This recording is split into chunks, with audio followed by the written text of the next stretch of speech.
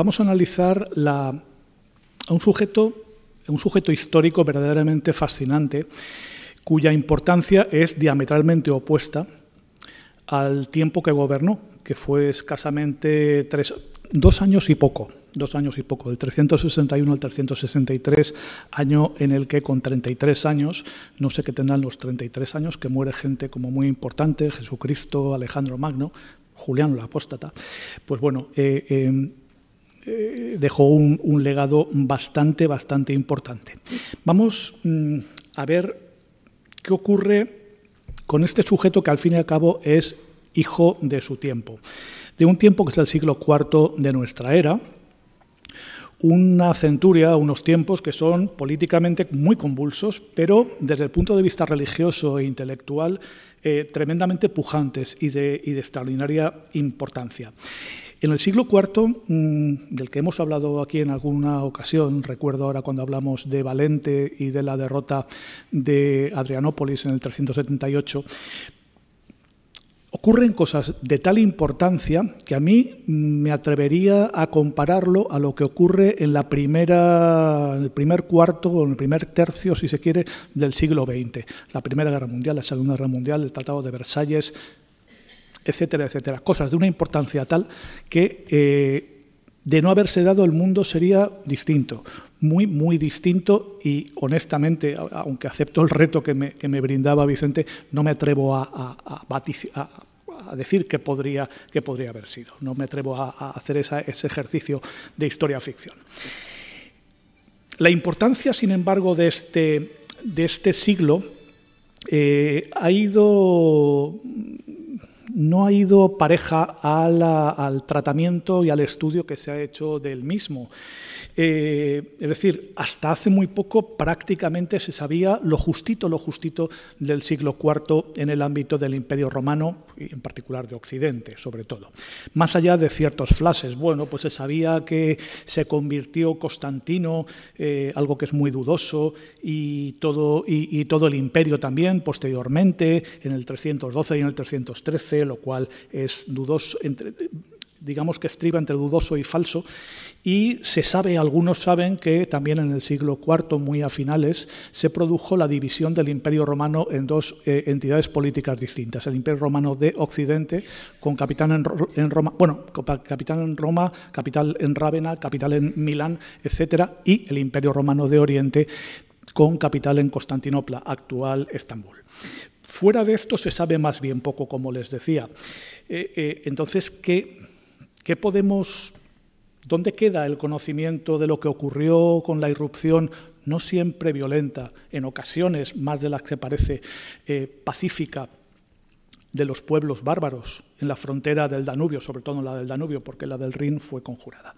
¿Qué sabemos de, los pactos que los romanos llegaron a, pactar, a, establecer con ellos, los llamados foedu, o en, plural foedi, que son eh, en gran medida el origen, se dice, de la, eh, eh, Edad Media y de la época feudal. ¿Qué sabemos del ejército romano que parece que desapareciera en aquel tiempo y que fue capaz, con casi medio millón de efectivos, de dar mucha guerra, literalmente y en el sentido real, con numerosas victorias y alguna derrota también? ¿Qué sabemos tampoco o qué se nos ha contado del florecimiento intelectual y teológico que se produjo entonces?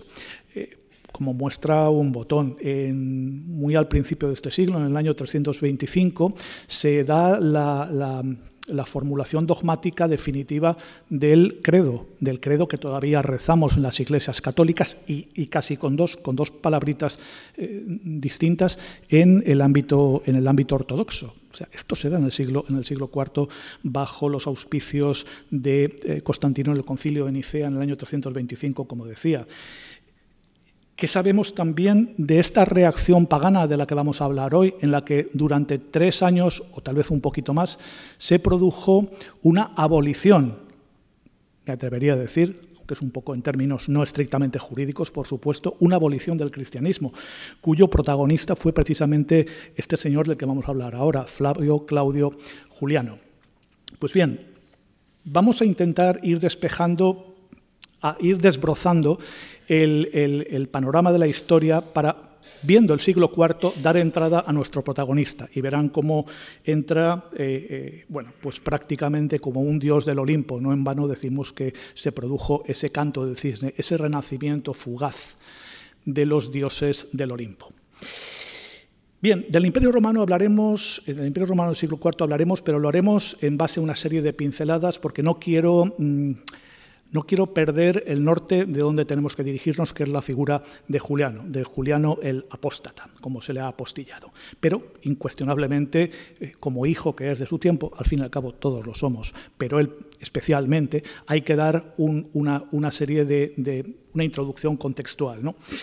El siglo IV mm, ha pasado a la historiografía, digamos, después de Gibbon y demás, como un siglo mm, de crisis. Sin embargo, los nuevos, los nuevos, eh, los, actuales historiadores no perciben ese estado de decadencia o de crisis que era habitual eh, connotar o con el que era habitual connotar el siglo IV. Es verdad que hay una serie de cambios muy notables. Por ejemplo, en el poblamiento. el poblamiento, en el siglo IV, en, en el ámbito occidental, se produce un vaciamiento una crisis, es cierto, de las ciudades. Aparece el fenómeno de las villas, las vile en latín, que son unidades productivas eh, donde se agrupa una gran cantidad de gente en los llamados bici o vicus, que son pequeños pequeñas aldeas de servidores y se va despoblando, es cierto, las ciudades. Sin embargo, en, eh, el ámbito de Bizancio, en el ámbito, perdón, de Bizancio, más bien del, eh, Imperio Oriental, se va produciendo todo lo contrario, una pujanza tremenda de las, eh, ciudades mm, que son importantísimos focos comerciales, principalmente por el comercio a larga distancia. La ruta de la seda, todas estas cuestiones empiezan a nacer en este momento. A, su vez, también existe una importante efervescencia cultural. No hay ese decaimiento que muchas veces se ha dicho. Una efervescencia cultural que viene dada por el enfrentamiento eh, teórico eh, entre estudiosos de, credo cristiano y otros aferrados al paganismo. Es, mítica la querella que hubo, las querellas que hubo, la, lucha epistolar que hubo entre dos grandes monstruos intelectuales de ese momento, como fue San Ambrosio, de Milán y su pariente lejano Aurelio Símaco que era todo lo contrario, era un cultísimo senador romano que defendía el paganismo. Pero también es verdad que al socaire de estas cuestiones se produjo una eclosión de las, eh, de las querellas o de las eh, herejías eh, de muy diversa índole. La más conocida es el arrianismo. El arrianismo fue el credo predominante durante bastante tiempo en, sobre todo, en la parte oriental del imperio. Varios emperadores romanos fueron arrianos. En el ámbito militar tampoco existe ninguna crisis. Como les decía antes, existe un ejército romano con cerca de 500.000 eh, eh, efectivos, cerca de, medio, cerca de medio millón de efectivos, que desde luego es verdad, ya no se parecían tanto, fíjense en, esta, en, esta, en este dibujo, ya no se parecían tanto a los, a los legionarios clásicos altoimperiales, esos que de una forma un poco caricaturesca hemos visto en, en Asterix, sin ir más lejos. ¿no? Estos son muy distintos, ya incorporan en su uniformidad, esto sería muy bonito, pero otra materia, e incorporan un montón de eh, prendas e incluso armas provenientes de los pueblos eh, germánicos. Fíjense, por ejemplo, este, este es el llamado draconiano, este es el que, eh, el draconario, perdón, dicho draconiano, draconario, que es eh, el que portaba este estandarte que sonaba cuando había viento, y esto es precisamente, no sé si de los burgundios o de los marcomanos, pero desde luego de los bárbaros. Este era un soldado romano y cristiano, además. Bien, es verdad que no era una Arcadia feliz, aquel tiempo no era la Arcadia feliz, no era el, paraíso terrenal, ni mucho menos. Existían, existían muchos problemas. Por solo enumerarlas y de forma muy rápida, aludiré a la fuerte polarización que se produjo entre, entre pobres y ricos, los pobres agobiados por una terrible presión fiscal, la fiscalidad en el, en el Bajo Imperio Romano era monstruosa, hasta tal punto que se, generalizaron, se generalizó una institución odiosa que era el colonato, era el alquiler de tierra a unas personas que, permanecían adscritas a la tierra de por vida. Y conexo a esto también se generalizó la inamovilidad social, es decir, los hijos venían obligados a seguir la profesión de los padres. Si era panadero, tenía que ser panadero, si era eh, naviero, tenía que ser naviero, si era agricultor, tenía que ser agricultor. Se produjo también ciertamente una grandísima tensión eh, provocada por lo que los romanos llamaban las gentes externe, gentes externe o personas foráneas o emigrantes o bárbaros, porque mm, se percibía, eh, sobre todo en ambientes mm, cristianos, como la venida del anticristo, como el final de los tiempos, se percibía, ya digo, con, con unos tintes apocalípticos. Y también en la tradición pagana se estaba sintiendo que la presencia de esta gente y la hipotética caída del imperio podría deberse al abandono que Roma había efectuado de sus eh, dioses tradicionales y de la traditio, de, sus instituciones eh, multiseculares. Existía también en penúltimo lugar, un conflicto tremendo con la gran superpotencia, o a lo mejor había que decir hiperpotencia, de aquel momento, que era la Persia sasánida, que eh, pues, prácticamente ocupaba desde eh, los montes Zagros, es decir, al, este de eh, Mesopotamia, hasta la India, como quien dice. Los eh, persas sasánidas estaban en disputa con los romanos por, dos por tres regiones en concreto, como digo, Mesopotamia, Armenia, no olvidemos el primer reino cristiano del mundo, y eh, muy cerca de Armenia, Anatolia, Asia Menor. Y existían, como decía, las querellas, las querellas religiosas provocadas por eh, diferentes escuelas, por diferentes herejías, que muchas veces se manifestaban de forma muy violenta en las ciudades, sobre todo en la parte oriental. Muy bien, este es un poco el contexto en el que nos vamos a mover. Y lo vamos a hacer guiados de la mano de eh, Amiano Marcelino. Amiano Marcelino es el historiador que nos va a guiar en el conocimiento de Juliano el Apóstata. Muy brevemente, ¿quién fue Amiano Marcelino? Pues fue el notario más fidedigno, el gran cronista del, eh, segundo, la segunda mitad del siglo IV.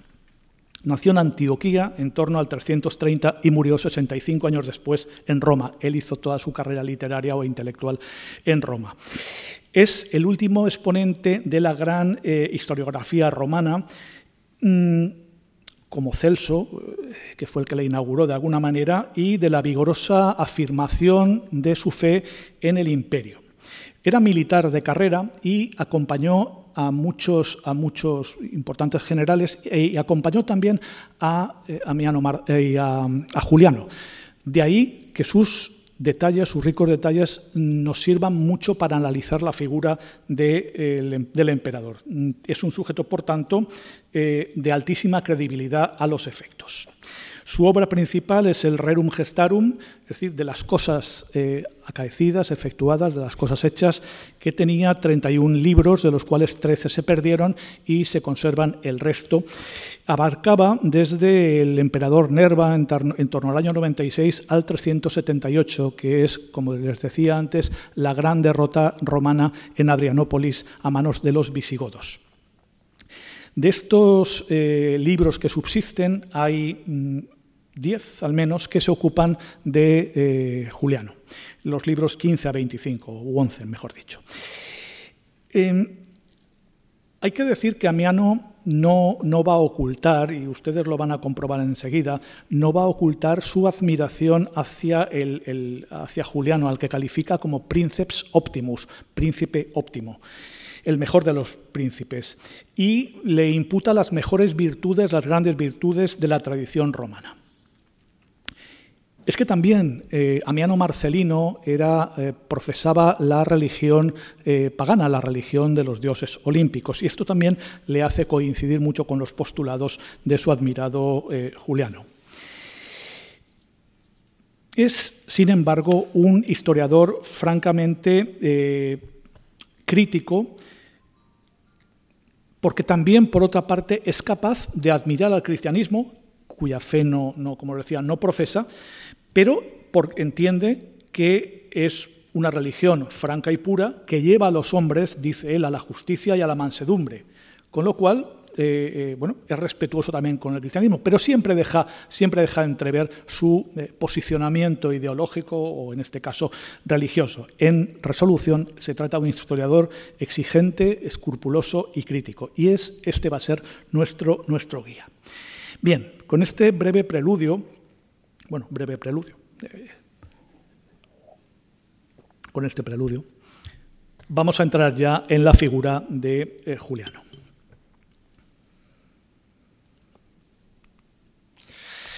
Flavio Claudio Juliano nace en el año 331 en el seno de la familia y de la dinastía de Constantino. Era sobrino de Constantino, de gran Constantino. Su padre era Julio Constancio, que a su vez, junto con Constantino, eran hijos de Constancio Cloro, ¿vale? y de su segunda mujer en este caso. Ustedes saben que Constantino era hijo de Santa Elena, mientras que Constancio Cloro, su hermanastro, era hijo de su segunda mujer, Teodora. Bien, la madre de Juliano era Basilina, una mujer culta y educada de origen asiático, hija de un alto, de un alto eh, funcionario imperial del eh, de, la, administración del, del emperador Licinio.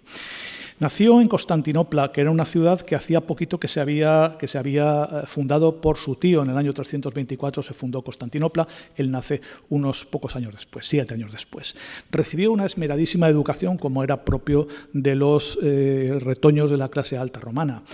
Pero mm, su, infancia no fue del todo feliz, o no fue nada feliz, más bien, porque ya bien pronto tuvo que asistir a un baño de sangre que eh, desataron los a la muerte de Constantino en el año 337 desataron sus hijos, empeñados en acabar con cualquier pariente que pudiera en su momento ser un candidato al trono. De la familia de Juliano murió nada menos que su padre, un hermano, un tío y seis primos, seis primos que también eran de los asesinos.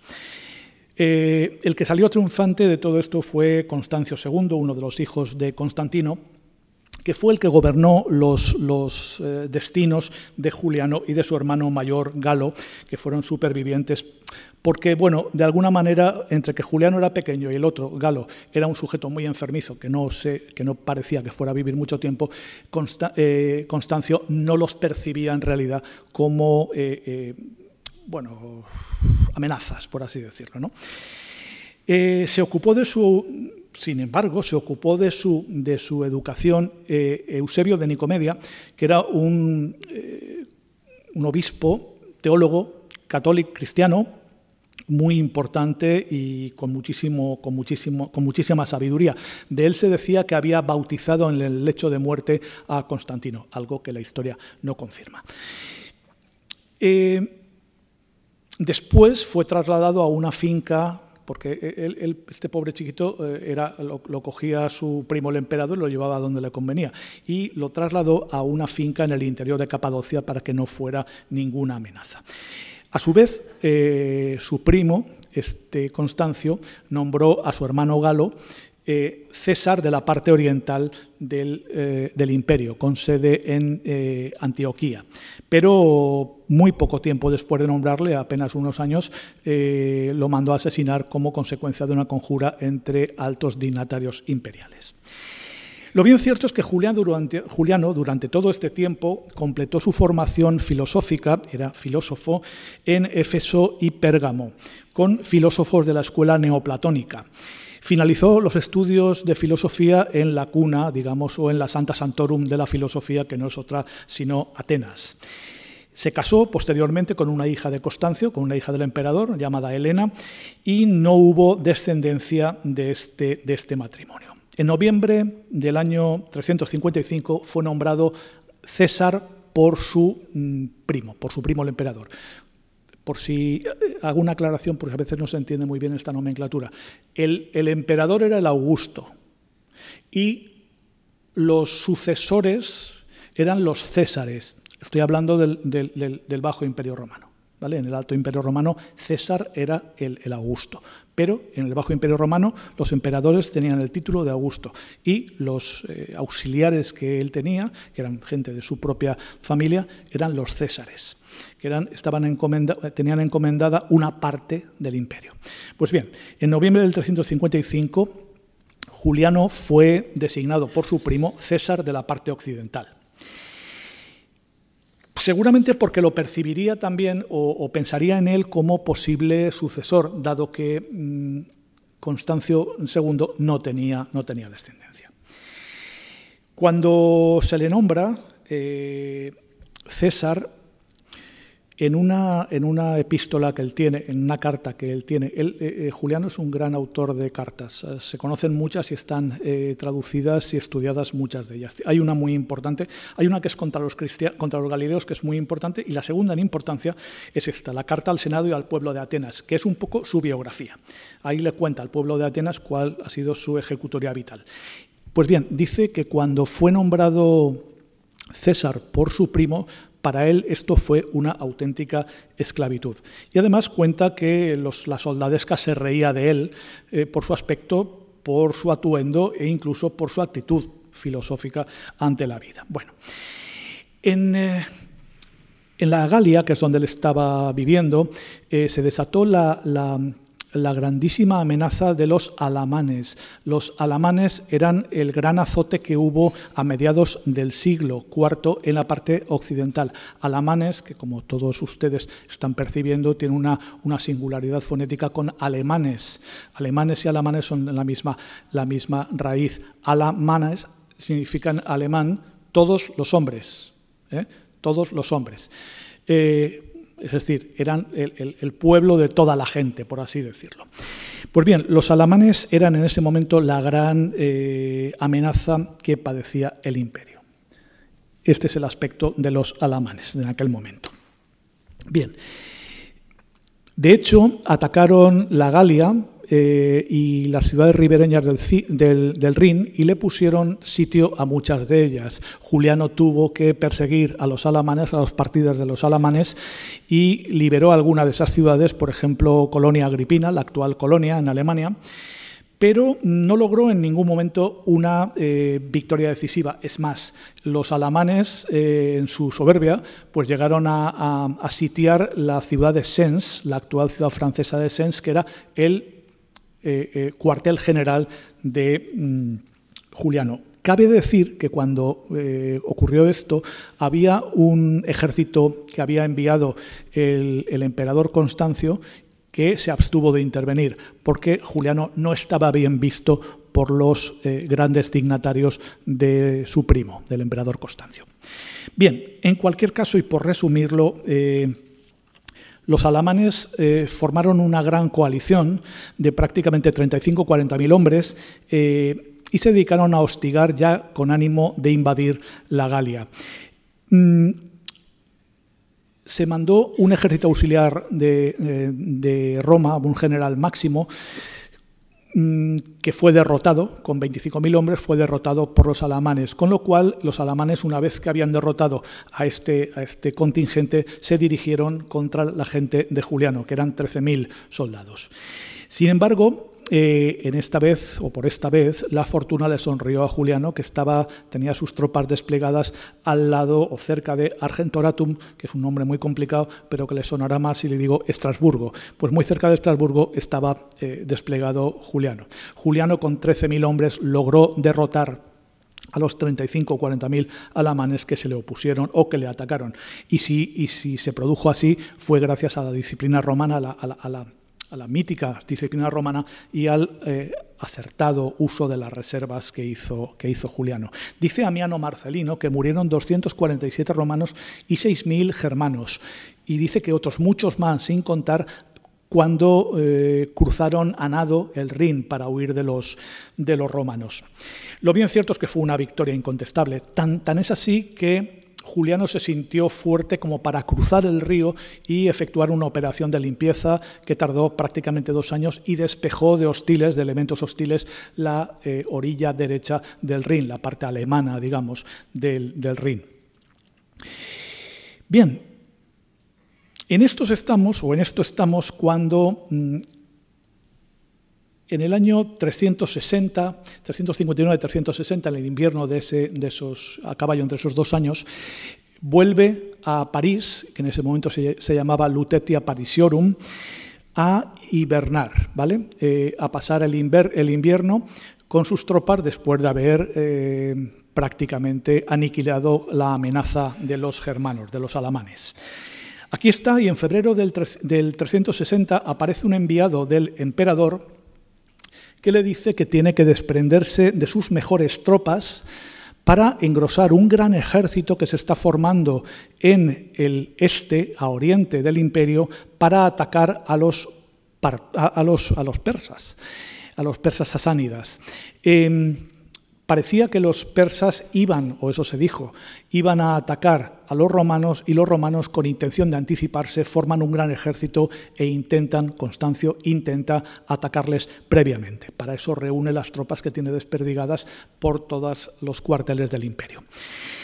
Bien, eh, en este momento eh, se produce una, un descontento por parte de las tropas llamadas a, irse a, la zona de Babilonia, a la zona de, eh, Mesopotamia.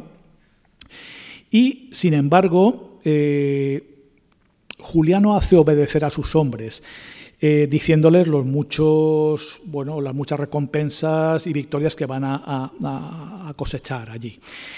Pero no deja de hacer mención y así lo refleja Miano Marcelino, de una garantía que se les había dado a los, soldados mercenarios que estaban en las filas romanas y que habían nacido al otro lado del Rin, y era que en ningún caso servirían en campañas más allá de los Alpes, es decir, servirían siempre cerca de su patria, cerca de su tierra natal. Por mucho que intentó calmar los ánimos, eh, al final los soldados se sublevaron. Eh, en concreto dos, cortes que se llamaban los petulantes y los eh, galos. Eh, ese, era, el nombre que tenían.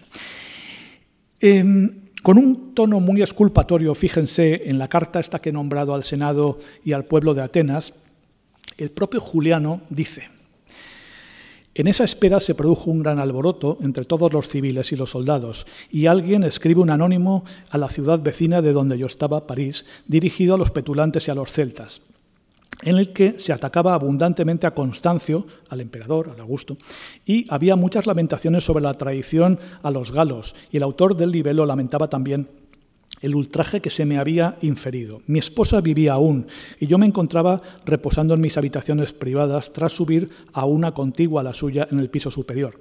Después, desde allí, había una ventana en el muro, adoraba a Zeus. Cuando el griterío se hizo todavía mayor y todo era agitación en el palacio, pedí a Dios que hiciera un prodigio y al punto él lo muestra y ordena obedecer y no oponerse al deseo del ejército.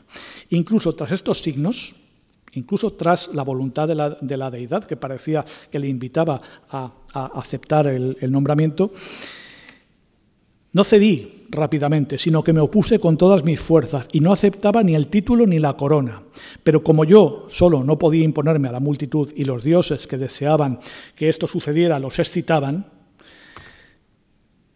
Mientras que mi inteligencia había sufrido como un sortilegio, a la tercera hora más o menos, no sé qué soldado me da un collar, me lo pongo y entro en palacio lamentándome desde lo más profundo de mi corazón, como saben los dioses. Y sin embargo, hubiera debido, confiando en el Dios que me había mostrado un prodigio, permanecer tranquilo, pero sentía una terrible vergüenza y hubiera querido esconderme ante la apariencia de no servir fielmente a Constancio hasta el final. Bueno, enterado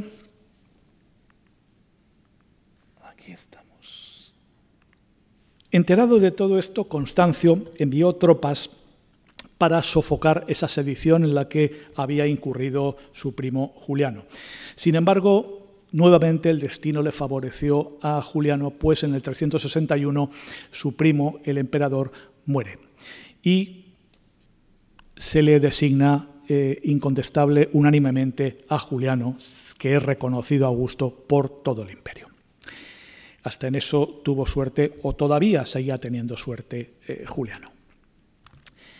Una vez en el trono, eh, y vamos a abordar ya la parte más mollar, una vez en el trono, eh, Juliano inicia unos preparativos militares a los que ahora me referiré y lo hace también con una, o en el seno, o, adornado de una intensa campaña propagandística en la que él se presenta ante los ciudadanos romanos como desprovisto de ambiciones y dispuesto a priorizar siempre en sus actos la ética, la ética por encima de todo en el cumplimiento de sus, de sus deberes, ¿no? de su deber.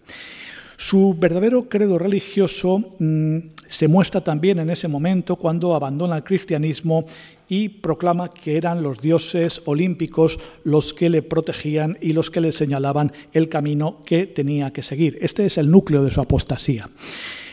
Se ha destacado también que Juliano elabora una imagen de sí mismo cercana a la del soberano justo platónico, elegido por los dioses y virtuosos, a la que incorpora criterios sobre legitimidad propios de su época, el ser victorioso en la guerra o el ser liberación de pueblos. En la imagen es la imagen esta en la que él fundamenta la instauración del helenismo.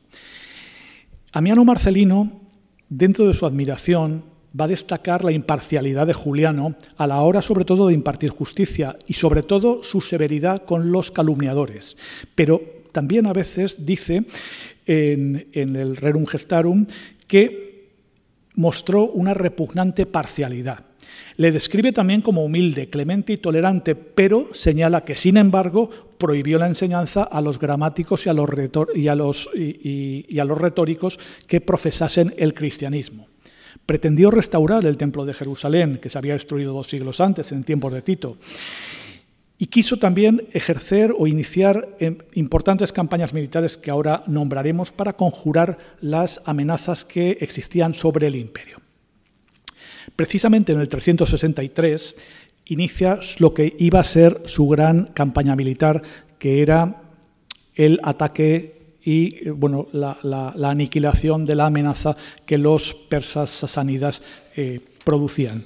Siendo mm, extremadamente breve, les diré, este es el, el, mapa que muestra el itinerario de las tropas romanas, de, las tropas de Juliano, no voy a meterme demasiado en ellos, tan solo les diré que mm, él pretendía tomar cuanto antes la capital de los persas, que era Tesifonte, y eh, de poner al rey persa, que era Sapor II, y poner a un príncipe más próximo, más proclive a los intereses romanos.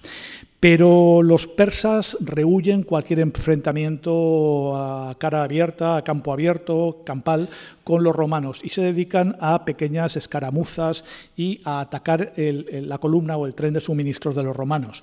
Y sobre todo se distinguen por la táctica de la tierra quemada, es decir, no dejan ningún suministro. Sin embargo, por una serie de errores que no hacen ahora al caso, por confiar en unos desertores persas, se quedan prácticamente sin vituallas, sin suministros, con lo cual tienen que emprender un, movimiento errático hacia el norte, siguiendo el río Tigris hacia el norte para ver si encontraban eh, algo de comer, y topan con los persas en eh, el 26 de junio del 363 en la ciudad de la actual ciudad de Samarra en eh, Irak topan con los persas. Pero los persas tampoco les plantan cara, sino que se dedican a hostigarles por los flancos. Eh, desconcertando a los romanos, que estaban cansados, hambrientos e iban cargados de hierro con las corazas.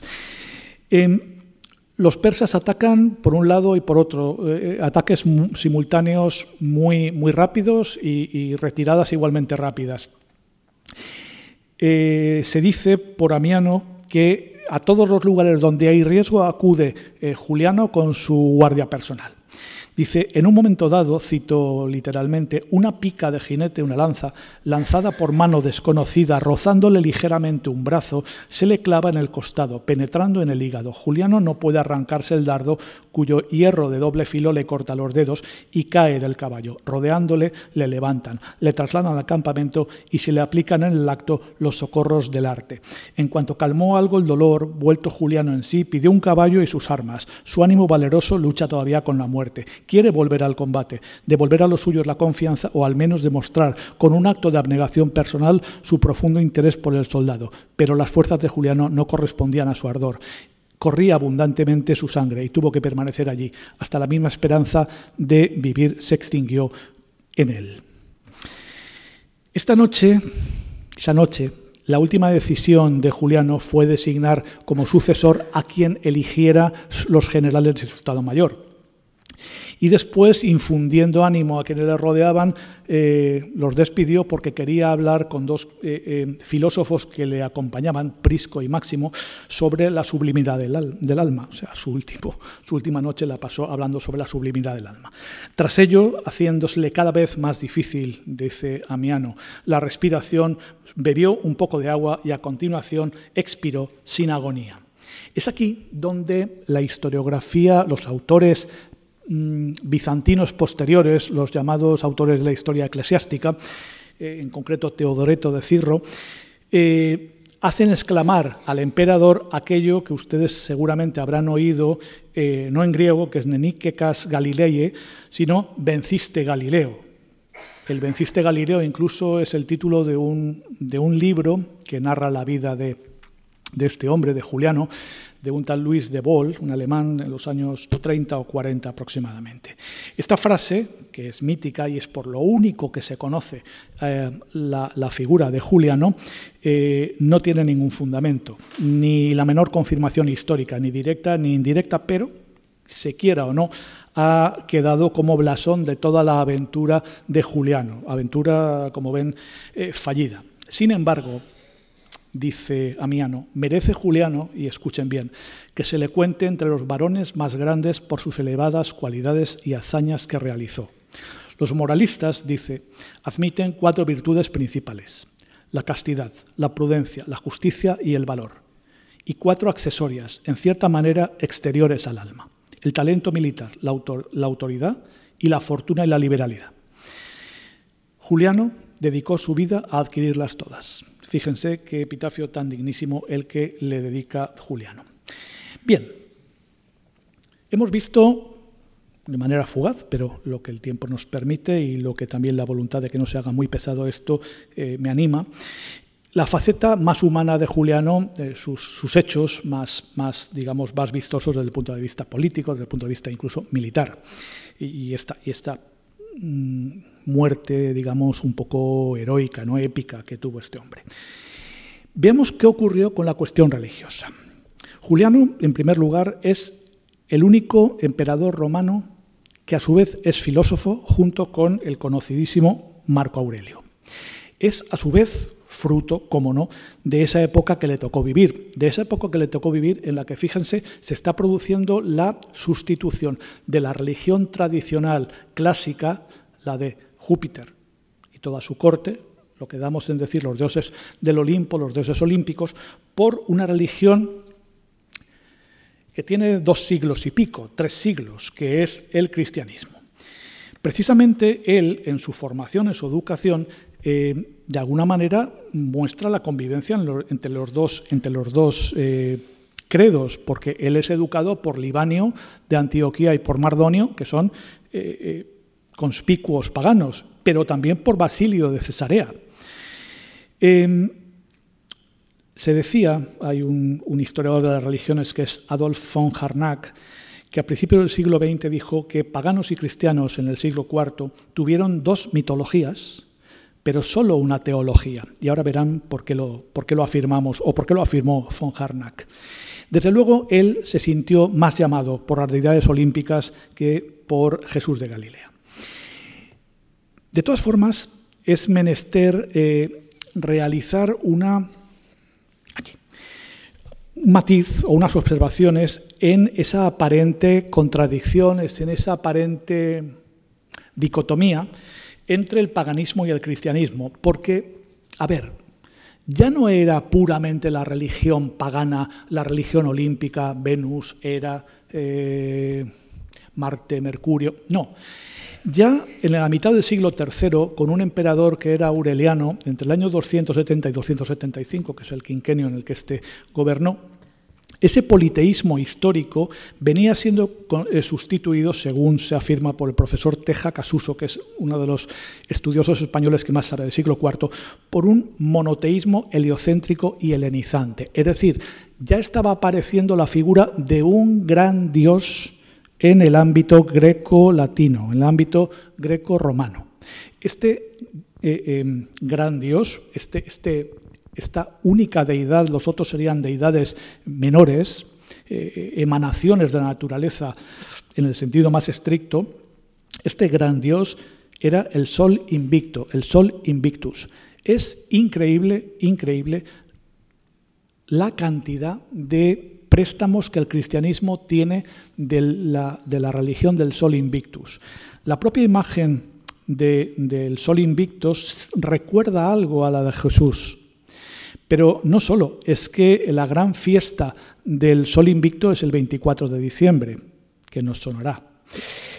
Bien, en todo caso, en todo caso, con este monoteísmo matizado que se empezaba a dar, a partir del 361, mm, Juliano restaura los cultos paganos y abole, elimina los privilegios que disfrutaba o de que disfrutaban los clérigos cristianos y los transfiere a los municipios, a las curias municipales, a los ayuntamientos, para entendernos. Ordenó la reapertura de los templos paganos que habían sido cerrados y repuso, entre, entre otras eh, esculturas, entre otras imágenes, eh, la, la, estatua del Ara de la Victoria, que es la que presidía el Senado de Roma y era la muestra más preclara de la fusión entre el Estado y la religión de los dioses olímpicos, eh, eh, muestra de esa, de esa alianza eh, eterna que tenía con Roma. Pero no solo, es que también asignó a los sacerdotes paganos los subsidios estatales que previamente tenían los clérigos cristianos. En este punto debemos señalar que Además del apoyo que Constantino, el gran Constantino y sus sucesores dieron al cristianismo, el, rápido éxito de la religión, de la religión de Jesús, de la religión de los cristianos, radicó, por un lado, en la superioridad moral de muchos de sus exponentes, hablábamos antes de Eusebio de Cesarea, hablamos de San Juan Crisóstomo, y también en la política social, en la beneficencia que ejercieron los cristianos desde el minuto uno, como se dice ahora, desde el primer momento. Fíjense lo que le decía Juliano al supremo sacerdote de la región de Galacia. Galacia es también el sur, o sea, dentro del, interior de Anatolia, la parte del sur, la parte que da al, Mediterráneo. Le decía al, al sumo sacerdote, exhorta a tus sacerdotes a no acudir al teatro, ni beber en las tabernas, ni ponerse al frente de algún arte o actividad vergonzosa y censurable. A los que te obedezcan, Honralos, pero a los que te desobedezcan, destitúyelos. Establece en cada ciudad abundantes hosterías para que disfruten de nuestra, de nuestra humanidad los extranjeros, cualquiera que lo necesite. Es vergonzoso que entre los judíos ninguno mendigue y que los impíos galileos, los cristianos, eh, alimenten además de a los suyos también a los nuestros que se ve que están faltos de nuestra ayuda. Enseña a los partidarios del helenismo a contribuir con sus impuestos a estos servicios y a los habitantes de las aldeas griegas a ofrecer las primicias de sus frutos a los dioses y a los griegos acostúmbralos a semejantes obras de beneficencia. Es decir, él se había fijado que gran parte de la política entiendan en qué, en qué sentido hablo de política o, de una de las, de las formas en las que el cristianismo estaba atrayendo a fieles era por la beneficencia que ejercía.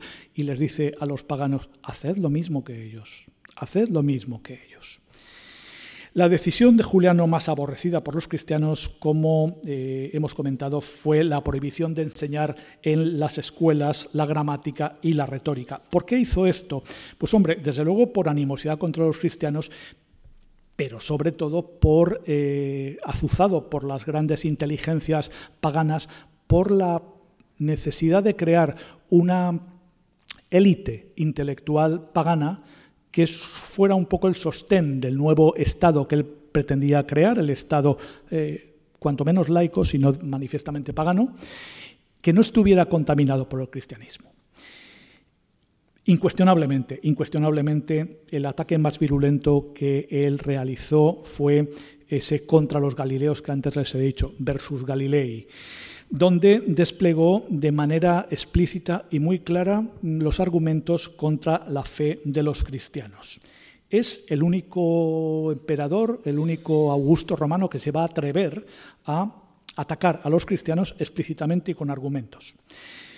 Argumentos que no tienen por qué ser convincentes, pero eh, desde luego en su momento y en un contexto en el que estaba, como les decía, en lucha una y otra religión, superponiéndose una y la otra, pues eh, tenían su importancia. Él criticó la concepción judeocristiana de la divinidad, porque dice que pese a ser étnica, local, nacional de Israel, tiene pretensiones de universalidad y el carácter también intransigente de los cristianos.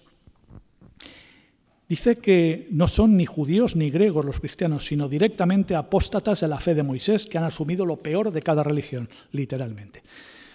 Todas estas decisiones hicieron de eh, Juliano reo de las peores invectivas de los autores cristianos posteriores, como les he dicho antes, eh, principalmente de los bizantinos. Pero ese malditismo que acompañó a, Juliano durante su tiempo eh, fue muchísimo más allá.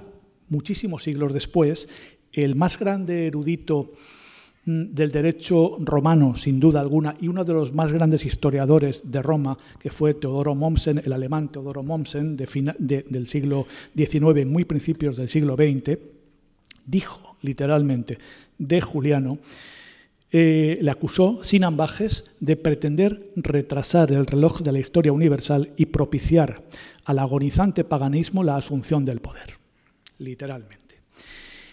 En todo caso, en todo caso, hemos de decir, o si queremos ser eh, eh, tributarios de la verdad, hemos de ir un poquito más allá, ¿no?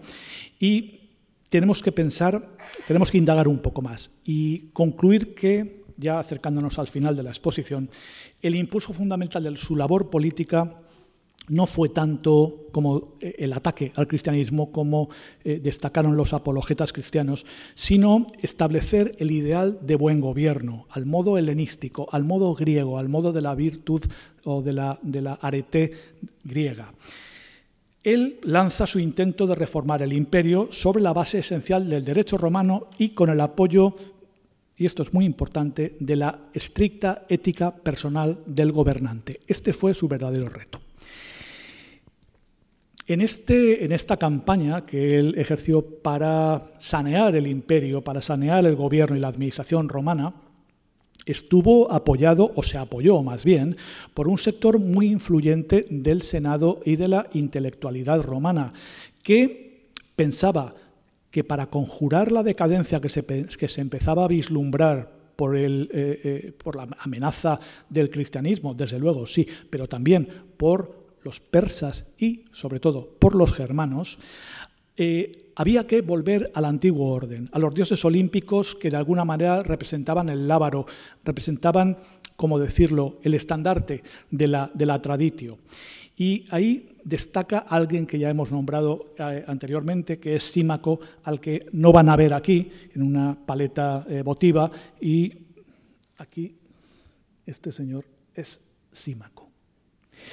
Bien, Símaco, digo, entendía que la suerte del imperio pasaba necesariamente por la preservación de la religión tradicional, sin más, de manera directa. Pero es que además también había un, plus de atractivo en la figura de Juliano que era su estricta ética personal, algo en lo que parece que todos hay, hay una cierta conformidad.